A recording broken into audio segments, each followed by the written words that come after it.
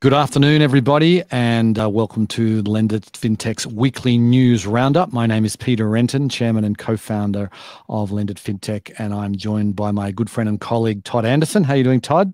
I'm good, Peter. How are you? Doing great, and we also have our special guest today, Tim Lee from Alchemy. How are you doing, Tim? Hello, hello. Doing very well. Thank you for asking. Okay, so before we get going, just quick, why don't you do a quick intro, Tim, about yourself and about Alchemy?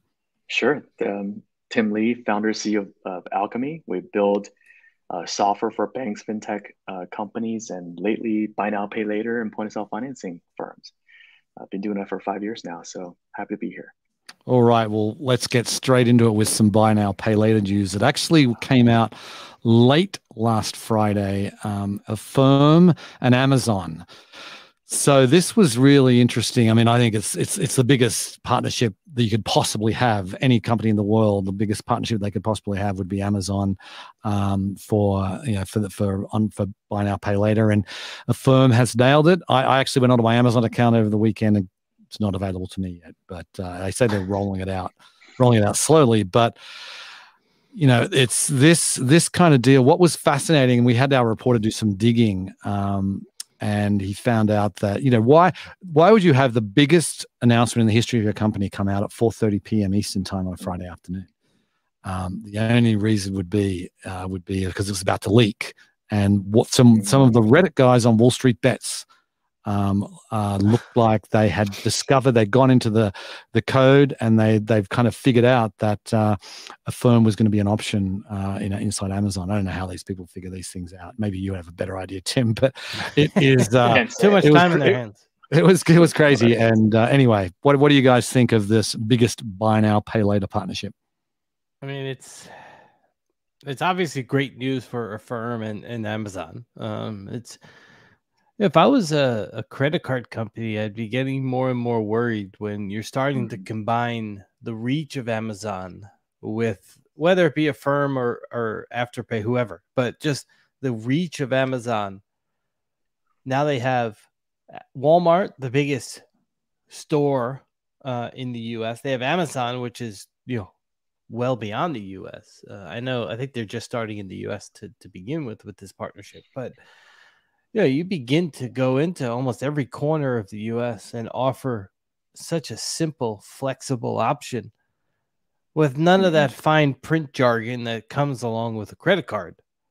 Mm-hmm. And people begin to go, hmm, you know, this makes it feel like I'm not paying that much for something right now. I can pay $20 over four months and it's $85, whatever it might be versus $85 and how do i compound that with my interest rate? And mm-hmm. and so the simple nature of it is a big deal. And then the reach that amazon has and if i'm a traditional credit card company i'm getting a bit worried. If i'm a traditional bank this is where they begin to get more and more worried. Now it won't happen overnight but more partnerships like this um, is where fintech and um, you know the the power of big tech come together to form something that's really really scary at least from the traditional point of view. Yeah it's an absolutely phenomenal deal. Uh, a year and a half ago they uh, announced um, the walmart uh, deal at yep. lendit i believe right? Yep. and, uh, this amazon deal just blows my mind. First my first reaction was why can't amazon build it themselves uh, right? They built everything else, including a, lunar lander, I think. Uh, why can't it do themselves? And uh, you know, I guess you, you, can't just do all the innovation in house, right? Even the largest companies in the world, um, you know, needs partnerships. Uh, it's absolutely insane. I mean, he probably doesn't want to get one upped by Jack Dorsey, who bought Afterpay, which is yeah. a huge firm. But culturally speaking, this whole delay gratification of our culture is very interesting, and it's not just the U.S. If you look at place like India, everybody's look using LazyPay, which is their versions of you know uh, yep. buy now pay later, down to the movie tickets, down to the movie tickets. It's crazy. We're not even talking about large uh, It's like you know twelve dollars of a movie ticket. People want to pay in four payments. It's just a way of life. Uh, and their version of Uber Eats has all of these delay gratification payment methods. Twenty dollar meal, pay in four four payments. Everybody's using it. I feel like this buy now pay later is catapulting this whole plastic generation, which is credit cards, right. especially in Latin America, some part of Asia. Hey, why pay in 30 days? I can pay in 300 days. Yeah. and with no interest bearing. Like right. That's the thing. That's the thing that uh, I, have always appreciated Max Levchin's message. He's, he, he was at, uh, it was in, I think it was 2019 when he's talked about, he compared credit card companies to payday lenders because they, they want you to revolve your debt forever Mm-hmm. and they and, and, they hide the terms of what you're actually uh, going to be paying. So, and there's there's some truth to that, but I think the the the, the new generation are, are, are showing they hate credit cards. They don't. They they, they like um, buy now pay later. They like debit mm-hmm. cards, and I feel like you know this. You know, you, it's only a very small percentage of the of, of you know of commerce is being done on buy now pay later, and it's uh, this is it's going to explode. I mean, what who's to say that 10% of retail sales isn't done with buy now pay later in five years time? It's certainly not out of the question, and that would be monstrous. You're talking trillions of dollars. I mean, do and, we get to the point where I go food shopping and do it? Sure. Yep. Yeah. I mean, I, mean, I think you know, the, the possibilities are endless. Where yeah.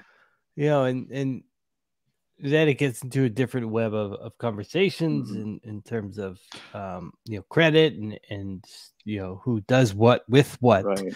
um, but it's it's becoming on its path at least it's becoming mm-hmm. so simple that almost any purchase i make i could split it up in four payments yep. yeah it's yes. it's quite astonishing how quickly it's it's starting yeah. to shift it has a long way to go in terms of the amount that's done but it's quickly becoming right there with an option of I mean, almost every purchase I go to, I see the little the logos.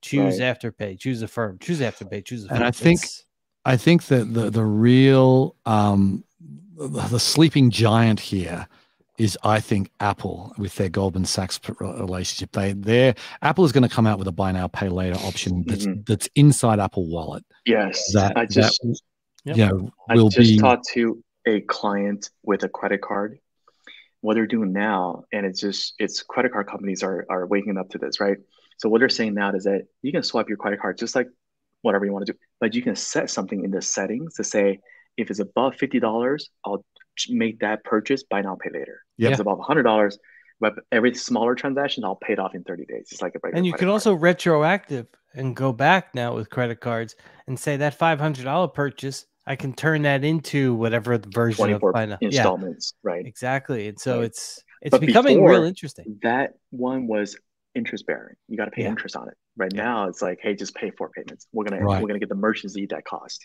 Yeah, and that's that's that's where I think we're going to see rebattle this battle. Right, and because Visa and Mastercard are not getting any any. uh you know any any any fees with if someone plays pays with Affirm on on Amazon, that's they're out of they're out of the equation, and that's not going to sit well with them. And I know exactly. that they're now, you know, I think both both companies have a buy now pay later offering where you can do it, mm-hmm. but it's it's really it's it's not out there yet. It hasn't got hasn't got public awareness, but right. Yeah, they need to they need to get their act together. I think they've probably been surprised by how fast this is. Right. I think the biggest nuance here is that credit card companies can only go down to 680, 660 FICO. Right. Between all three of us, right? Buy now, pay later. When the merchants are holding the risk, they can go down to four, four 500. So right. you automatically expand. And a lot of them a have a bunch of people they can do business with. And yep. a lot of them have the simple model that as long as those payments are paid, then we don't have to shut off the credit. It's all right. You know, whoever this person is, They've made their four payments in the previous purchase. Right. They're good next time. They yep. made those and, four. They're good. They're good. Yep. They're good. As long as you make those payments, right. essentially credit is not turned off. Yeah, and they can report that to the bureaus and to help them build credit. Yep. yeah. the best of both worlds. It's a financial financial health, uh, you know, potential potential right. for that. And you know, like Afterpay, you know, they they don't do credit checks. You can just go yeah, and pay with Afterpay. And I'm not sure what the number is of fifty or hundred dollars or whatever it is, but you just get it and then if obviously you don't make your first payment after two weeks, you're you know they're gonna they're gonna freeze your account. Right. But they will no credit checks. So that that's that's also I think how how how you know afterpay has sort of exploded as well. But yeah. Anyway, we could talk for the next uh, for the whole thirty minutes on this deal. I know because it really is fascinating. I'm, actually in the middle of writing a piece about it, which will be published by the end of the day. I hope. I hope. But um, we are now we, we should move on because there are there's actually lots of interesting stories happening this week. For example, Robinhood. Um, well, it's not really about Robinhood. It's about the SEC. The SEC said that a full, like the basically payment for order flow, which is how Robinhood does 80% of their transactions is through a payment for by order flow, or 80% of the revenue comes from payment by order flow. I should I should correct myself. But the SEC has said that a full ban of payment by order flow is being considered and uh, really is, I think, mm. just fascinating. I mean, Bloomberg had a piece saying, you know, don't panic. It's not. It's actually a bigger deal for the big institutional trading trading houses than it is for Robinhood.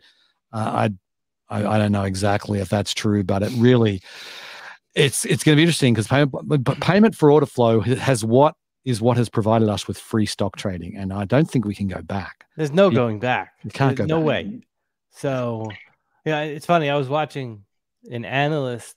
I forget the the name of the person, but he's he's critical of high frequency trading. He used to be in the space and now is more critical of it.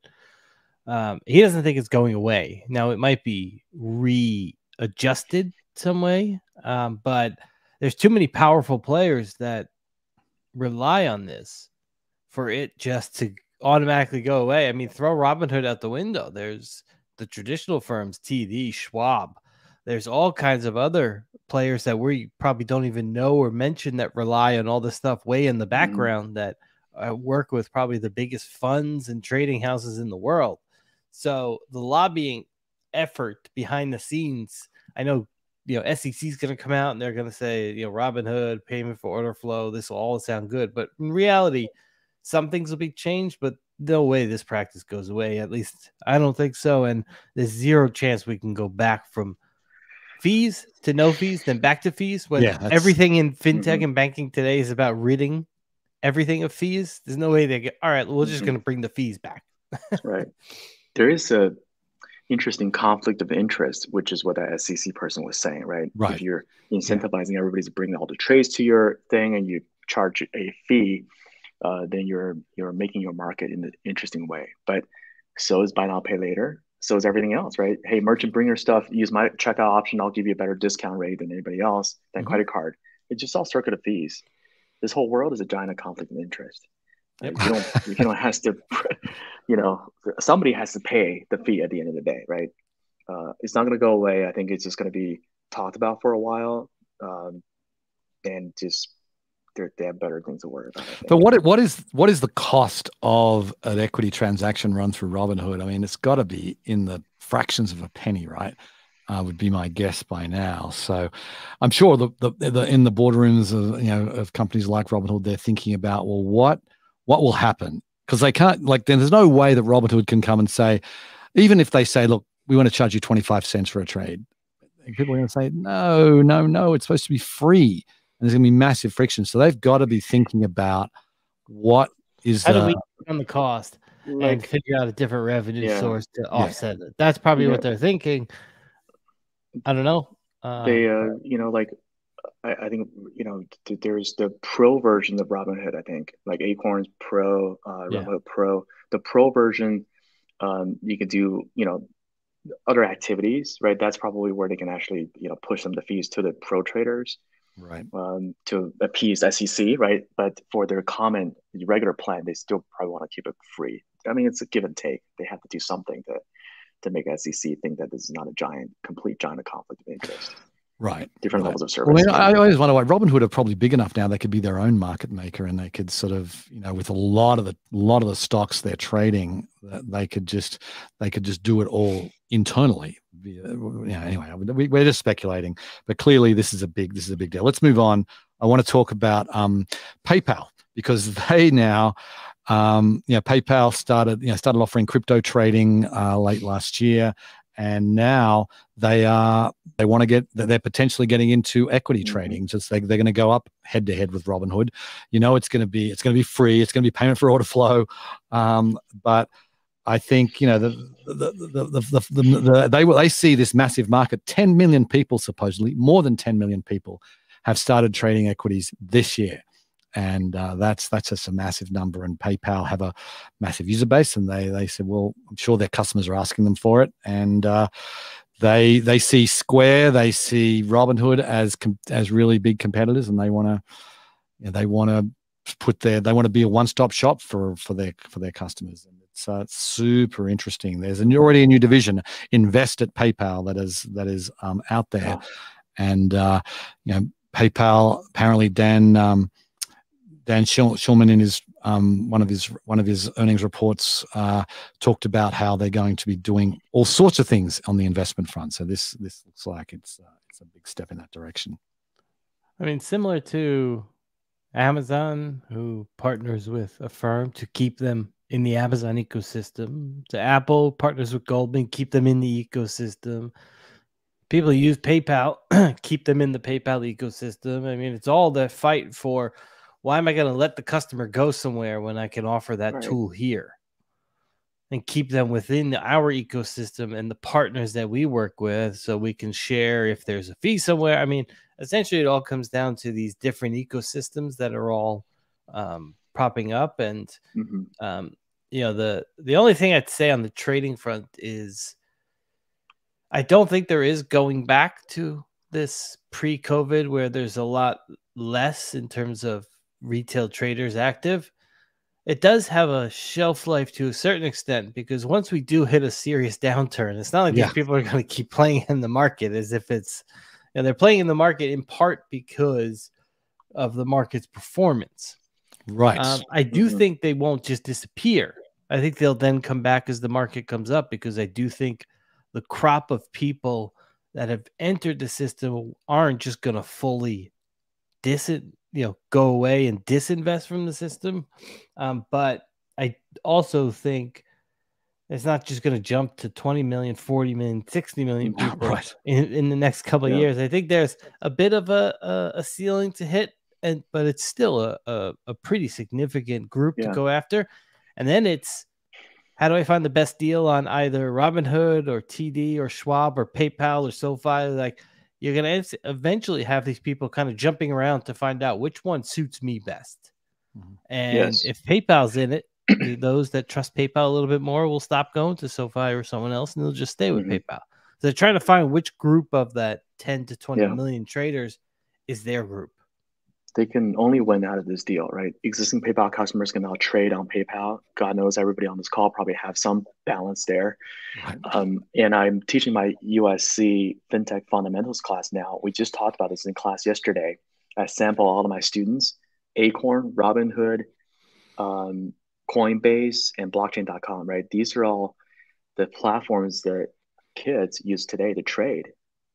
Nobody right. mentioned PayPal. Well, PayPal doesn't have this, but you know they need to acquire younger customers. I think this, it's yeah. um, PayPal might become you know obsolete or passe. right. Well, that's the thing. I think I think you're dead right there. I think in the younger crowd, no one really thinks mm-hmm. about PayPal. No, um, yeah. that's something sexy. Even they use Venmo, not PayPal. Yeah, to transact. Yeah, true. Exactly. Yeah. Anyway, let's uh, let's move on. Um, speaking of crypto, interesting piece in the Wall Street Journal uh, talking about uh, Avanti and Kraken. These are both banks that are, that, that have been approved in Wyoming. Uh, they, have got a special a special state charter there for banks. Um, they want to they want to basically get access to the Federal Reserve payment system, and that is uh, that has been just the purview of of nationally chartered banks, um, and it is really a, well, not, not, I should say, national and state chartered banks, but traditional banks. This um, you know this the banks are arguing the bank some of the bank trade groups are saying well you know these these these new banks are kind of lightly regulated. They're not and that's just it's such crap because i think what what avanti and kraken have to go through is actually probably more rigorous i think than most of the most of the other most of the banks do. It's just different. It's a different type of uh, of regulation. But uh, Caitlin Long, I was watched on LinkedIn just uh, earlier this week where she confirmed that's what they're doing. Apparently, they put in an application with the Federal Reserve last month. I don't think this is going to happen overnight. It's not going to happen this year. Um, prob- may not be next year, but uh, eventually, I think your crypto bank is going to have access to Fed payments and the Fed payment system, and then they they will be you know able to compete. You'll be able to suddenly use crypto to to, as a as a payments mechanism much much more readily than you can now. Just like there's no going back with trading fees once they're in the system. Yes. There's no going back. So the banks are probably lobbying hard behind the scenes to keep them out as long as possible because once Yeah. one one gets access, that's it. It's over. Yeah. So um, that's what I. Th- I mean, I I agree. Eventually, it gets there. Um, banks are just using their their weight as as long as they can to to push the can and push the can a little bit further down the road. Um, though someone forward thinking eventually is going to be like Mhm. this. You know, we need to stop this. And, Yeah. Um, The the catalyst Yep. might be um, the uh, the canna- cannabis banking bill. I think it's on the uh, the uh, floor of one of the houses. Mhm. I want to say cannabis might get access to national banking before crypto does, and that might be a catalyst for everything else. Uh, 'cause That's there's quite actually a possible. piece of legislation out there that got access. That, that, Yeah, that's that's inevitable. I think as more and more, s- Mhm. it's inevitable that the If they can figure out AML and tax, right. they will let anything to transact. That's what they need. Yep. Tax money. Yep. Yep. Yeah. Exactly. Yeah, It's, a- it's it's, it's, uh, it's such relatively simple when you break it down in that way. as long as they know Yep. who you are and if you can pay tax. Yeah, not a terrorist. You can pay tax. Come on, come on in. You can trade cattle for all they care. right. Right. And just before we move on, just one one stat which I thought was staggering to me.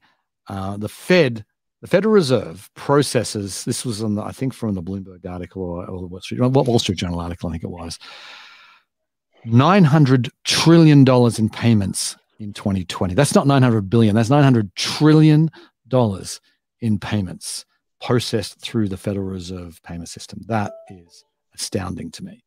Twelve zeros. Yeah, Lots of zeros. Gonna- zeros. Gonna, they're going to be talking in quadrillions soon. Um, anyway, let's uh, let's move on. Citizens Bank of Edmond, Jill Castilla, good friend of LendIt, spoken many times. She's a real innovator in the in the banking space. Uh, you know, pretty small community bank, three hundred and fifty million dollars in assets in a, you know, just I think they're just outside of Tulsa, um, in Oklahoma. And this was interesting because I, I saw the headline, but you don't actually, you don't, we don't actually know much. But she's, they're basically, she's launching a digital bank a national digital bank uh, before the end of the year, is what they said. Partnering with Moven, uh, Brett King's company that got out of the retail retail banking business last year, um, and they're going to be using their platform to launch uh, a digital bank. And she just says it's targeting a specific affinity. I've got to guess. I think it's going to be veterans because she is a veteran, Yep. um, and uh, I think she says it's a it's a group that she feels a lot of uh, love for, and so. And they're really, and you think about it, is there a veterans? I mean, we've got lots of different niches on affinity banks. I don't think I know of a There was veterans the one. um, what was the lender that focused on veterans? Street Yeah. shares. Street shares, yeah. So, Sweet shares. but Don't we have yeah, but- USAA? Yeah, USA doing this? Well, USAA, Navy- yeah, that's that's Navy only Federal- for veterans. Yeah, Navy, Navy Federal, Federal another Credit one. Union too. Yeah. So you have those, but you know this is how small community banks are going to survive, which Yep. is how do we create a digital brand that takes our feel Mhm. from this one, two, three, five branch network in Oklahoma or wherever small town, and then boom, let's make it nationwide and and find like-minded people who we can serve in a similar way that we serve here at home. And if they can do that, then I think they're on their way to surviving. If they can't, eventually they'll probably be acquired by a big or digital bank. Um, Mhm. And that's that's the way I see it see it playing out over and over again. Hmm. So Okay. pretty smart move. Yep, yep. Let's move on. Um, we got two more two more things I want to talk about before we finish, and we have just got a few minutes left. So uh, there was an interesting uh, Ron Shevlin in his weekly column. We often uh, talk about him on this show. Uh, his columns. Yeah, this was basically um, a summary of a report that he did um, with uh, his his his firm Cornerstone and uh, Maniga, and uh, I think they're they're a European uh, based bank focused on uh, on uh, on climate issues. And so this was this is about the, the, rise of climate conscious consumers and the climate change opportunity in banking. So really interesting. They did a lot. Of, they did a survey of three thousand plus people. Uh, talking about different different preferences they have around climate change and around banking and what was one of the interesting takeaways is that people um you know people even people who are passionate about climate change don't measure their their their carbon footprint because it's it's just very difficult to do that. There's no, uh, there hasn't really been tools to do it. He he he actually even put the put it forward that maybe uh, one of the banks could really corner this market and make create a, a wide a widely used tool to, to do this. Um, you know, they said there's lots of opportunities for banks in this space, and it really is pretty wide open. You got aspiration that they're, they're going mm-hmm. public via SPAC. You got a couple of others that are, are pretty nascent, and um, there's really no there's no brand yet that has really got a nationwide awareness as being the the climate friendly bank, and it's it, it should have it should have it should have mm-hmm. happened by now. But this is basically the report saying this is wide open right now. And if you look at what just happened in New Orleans, and tracked right up here, yep. the more incidents like this, the more aware people become of what the things in their life are doing related to climate. So mm-hmm. if I hear that my bank is associated with fossil fuel companies, then I'm gonna go. You know, I just had the first flood in my house mm-hmm. in 20, 50 years, mm-hmm. and now they're saying it could happen every two years. Like, well, what's going on here? The, people need to more relate it to their lives, which I think is continuing to happen because these incidents and these weather related events just are getting worse and worse in more frequency. And so that I think will also help accelerate it because in most ways, unless it's connected to you personally, that's right. It's it's disconnected. That's right. That's and right. so you you don't think of it as as impacting you as much, but if That's you've right. just been through a hurricane, destroyed your house. That's right. I'm. It becomes personal. I'm, waiting for Tesla to come out uh, with a bank. They just released new piece of software um, where you can actually link up every Tesla solar panel on your roofs and create a virtual power plant to send energy back into the grid to help resident environment in Texas, if you read the news, they submitted a uh, uh, application to sell these excess energy off of people's rooftops back into the Texas grid to make money uh, for uh, panel owners. So they're getting into. I mean, Elon Musk came out of PayPal, right? He was part of the PayPal yeah. mafia, right? Yep. So I'm I'm just waiting for Tesla to come out with this stuff that is so connected, like what Todd said, to your day to day life, whether it's a car, panel, battery, whatever whatever it might be, to come out with some kind of a insurance or some kind of a banking option that is tied to um, that, that's tied to environmental uh, thoughts, if you will. Yeah, right. Because it's it's right there tied to the tied directly to it. Anyway, they they could do it. I'm sure that I'm sure that thought is being the idea is at least uh, mm-hmm. being discussed because they have. I mean, they already have a big. I mean, they're in the. They're in the. We've had we've had people from Tesla speak at, at Lendit where because mm-hmm. they're in. You know, they have a they have a big financial services division there with all of the leasing they do and the securitizations. Uh, That's right. Up all those all those uh, leases. And it's yeah. So they're they they already have a financial services footprint. Right. It's just uh, do they want to go and uh, make it become? I don't know if they want to become a retail bank. But like I said the opportunity is there. Someone's going to own it. Someone's going to be the Tesla of banking. It could be Tesla, but uh, right. as far as you know, the, the most environmentally friendly. But uh, super interesting. Anyway, we're almost out of time. One more story. This is bookending with the buy now, pay later uh, beginning. Funding Circle in the UK uh, has uh, released a buy now, pay later option for SMEs. And I've been wondering when this is going to, when someone's going to do this, because it's all the buy now, pay later options are for consumers, uh, pretty much. But they have they have released it. It's just a simple three payments, three monthly chunks. So you pay off uh, basically paying it off in three months. Funding Circle fronts the entire money. It's basically a it's basically a a, a three month installment loan um, yeah. that Funding Circle is going to offer, and it's not mm-hmm. it's not going to be free like like Afterpay, but it um, you know it, it's basically it's for two thousand pounds to thirty thousand pounds. They've been testing it out, but this is another massive untapped market that it, people like um, buy now pay later and it's not available for small business and it should be mm-hmm. massive absolutely i was thinking that square uh, bought afterpay will start doing this but you know uh, one of the og's into this industry funding circle is getting into it it's it's absolutely massive yep and Square yeah. could well do it. A quick would be having plans to do it because obviously Funding Circle has a they're a big player in the UK. They're not as big here. Um, and uh, even if they do release it here, it's not going to be a massive, massive uh, product. Mm-hmm. But um, I mean, uh, it makes most sense in, you know, if I'm a business, I need to purchase, you know, 10 laptops. Right. Do something like that paid off in a few installments. Like from my, yeah, I just hired a few people. Let's get you know some new chairs, technology. Tables. Right. Yeah, And let's do that. And and yep. it, it's better than going through a full you know loan process to for mm-hmm. uh, your working capital. Mm-hmm. It's, it's, rent to option. own.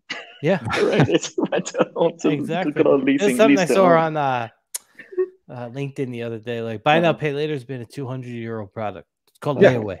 It is layaway. Yeah. It's yeah, like that's what it was. Yeah, I remember. I remember learning about it when I was a kid. That, uh, but they'd actually take the product and put it behind the counter. You didn't get it. Right. Reverse layaway. You get it. Yeah. Reverse layaway. yeah. Didn't get it until you paid it off in full. That's right. But, uh, anyway, we are we are now out of time. Um, thank you, thank you, Tim. Thank you, Todd. Thank Thanks, you, everybody. Thank you, everybody, for watching. We'll be back same time next week um, for another edition of LendIt FinTech Weekly News. Have yourself a great long weekend, everybody. See you. Yep. Bye bye. Enjoyed it. Thank you. Bye-bye. Bye.